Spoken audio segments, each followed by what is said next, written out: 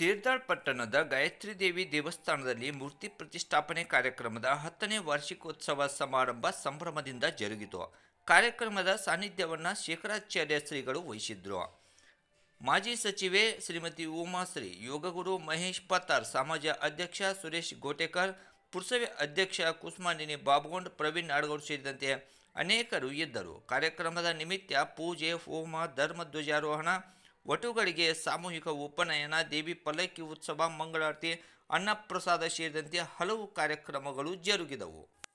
ಕಾರ್ಯಕ್ರಮದಲ್ಲಿ ಅಶೋಕ್ ಆಳ್ಗೊಂಡ್, ಸಿದ್ದು ಅಮ್ಮನಿಗೆ Payyaji Inamdar Bujubuli Kengali, Shankar Hosamani V R Relekar doctor Shivananda Wali, Sunil Algond, ಸಮಾಜ ಉಪಾಧ್ಯಕ್ಷ ಪ್ರವೀಣ್ ಬಾಳಿಗೇರಿ, ಮಹಿಳಾ ಘಟಕ ಅಧ್ಯಕ್ಷೆ ಕುಸುಮಾ ಪತ್ತಾರ್ ಯುವ ಘಟಕ ಅಧ್ಯಕ್ಷ ದಿಲೀಪ್ ಕಲೆಗಾರ್, ಮುಖಂಡರು, ಪದಾಧಿಕಾರಿಗಳು, ಸದಸ್ಯರು ಮುಂತಾದವರು ಇದ್ದರು.